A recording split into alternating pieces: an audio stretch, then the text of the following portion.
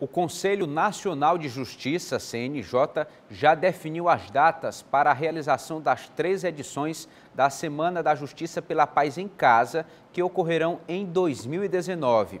Os julgamentos dos processos de violência doméstica ocorrerão entre 11 e 15 de março, de 19 a 23 de agosto e de 25 a 29 de novembro.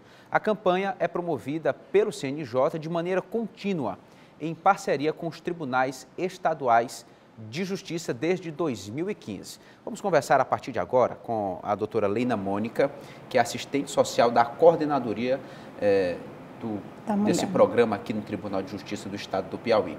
Doutora, bom dia, seja bem-vinda.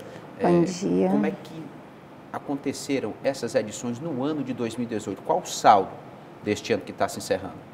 Então, a gente um, um, prazer muito grande de colocar a positividade das ações que foram desenvolvidas ao longo das, semana, das três semanas Justiça pela Paz em Casa do ano de 2018, que totalizaram mais de mil audiências realizadas nesse período de três semanas. É, é, importante ressaltar que as três semanas acontecem no período de no mês de março, agosto e novembro, tendo em vista datas que são relativas à defesa da mulher. Em março, a gente tem o Dia Internacional da Mulher, em agosto, nós temos o aniversário da Lei Maria da Penha, e em novembro, nós temos o dia 25 de novembro, que é o Dia Internacional da Não Violência contra a Mulher. Então, foi é, alusiva a essa data que o CNJ definiu que ao longo de três semanas do ano a gente teria a realização da Semana Justiça pela Paz em Casa. Então, nós, aqui no Piauí, nós estamos participando desde a primeira edição. Tribunal de Justiça resolveu realmente empenhar todos os esforços no sentido de tentar colaborar com essas, com essas ações. É, vale ressaltar que mesmo independente das Semanas de Justiça pela Paz em Casa, as audiências dos processos de violência contra a mulher acontecem cotidianamente no fórum, no, no fórum aqui em Teresina, civil e criminal, através do, do, trabalho feito pelo doutor José Olindo e pela doutora Ana Lúcia Terto, e nas demais comarcas do estado, em especial Parnaíba e Picos, que são as duas comarcas que apresentam o maior número com processos também de violência contra a mulher. No entanto, é, a gente realmente coloca a Semana Justiça pela Paz em Casa como um momento mais especial, porque é o momento onde o Tribunal de Justiça, a Corregedoria Geral de Justiça, se envolve e resolve é, de alguma forma, reforçar o time de pessoas que está trabalhando nessa matéria. Então, geralmente a gente faz um mutirão onde a gente traz juízes, promotores e defensores das comarcas que têm um volume processual um pouco menor. Eles vêm para Teresina e vão para Parnaíba e também dão um reforço em picos para ajudar a fazer com que os processos que estão é, aguardando esse julgamento e que poderão ter uma celeridade maior possam ser julgados durante esse período. Então, geralmente a gente tem em Teresina quatro juízes a mais que vêm fazer esse trabalho. A gente tem também, geralmente, três juízes em Parnaíba e dois juízes em Picos que estão reforçando esse time de profissionais que poderão contribuir para que haja uma celeridade desses processos. É uma grande estrutura envolvida aí, é uma concentração de esforços né, em cada semana é, no sentido de julgar esses processos relativos à, à violência doméstica. Mas as mulheres têm procurado mais, as vítimas têm se manifestado, procurado a ajuda da justiça? Sim.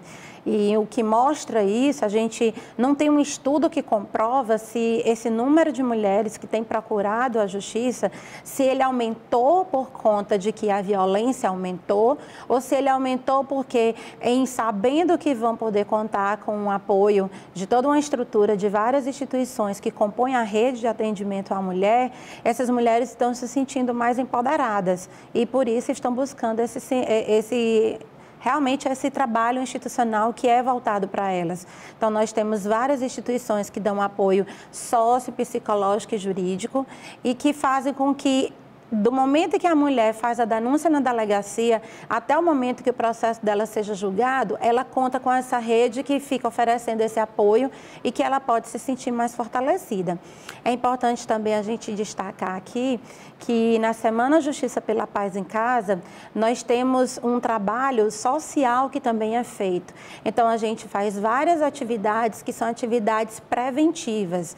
É, o CNJ recomenda que o trabalho não se limite somente a fazer o julgamento dos processos, mas que a gente também possa fazer uma ação preventiva no sentido de fazer com que cada vez mais a sociedade possa ter um, um alcance, uma proximidade maior com a Lei Maria da Penha, com a Lei do Feminicídio e assim, tendo maior contato com as informações relativas a, essa a essas legislações, possam se sentir realmente mais fortalecidos e empoderar as mulheres que estejam enfrentando esse fenômeno a buscar realmente aquele socorro que é importante elas buscarem e, quem sabe, terem uma, uma vida mais tranquila, né? porque é isso que a gente espera. Aí, nesse esforço por conscientização e educação entra Salve Maria, a IPEA, Maria da Penha nas escolas? Entram todos os projetos, tanto feitos pelo, pela Secretaria de Segurança Pública, os projetos feitos pelo Ministério Público e também as ações feitas pelas próprias equipes do tribunal.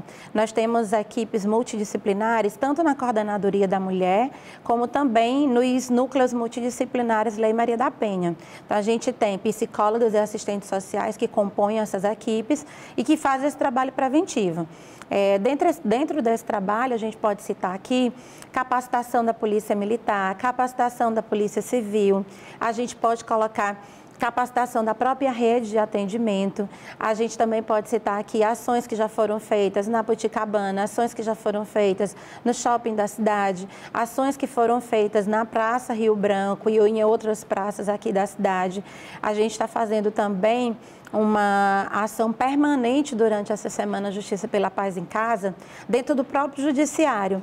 Por quê? Porque a gente entende que, como a violência contra a mulher é um tipo de violência que ele não escolhe cor, raça, ele não escolhe o nível de escolaridade que essa mulher tem, então não, não é definido. Então, por esse motivo, a gente também está fazendo uma ação chamada Mais Vale Prevenir do que Remediar, que tem tá acontecido durante a Semana Justiça pela Paz em Casa. Muito obrigado, doutora, tribunal. pela presença, parabéns pelo trabalho e que 2019 seja muito produtivo aí em defesa das mulheres. Certo, a gente doutora que Leina agradece. Mônica, muito obrigado.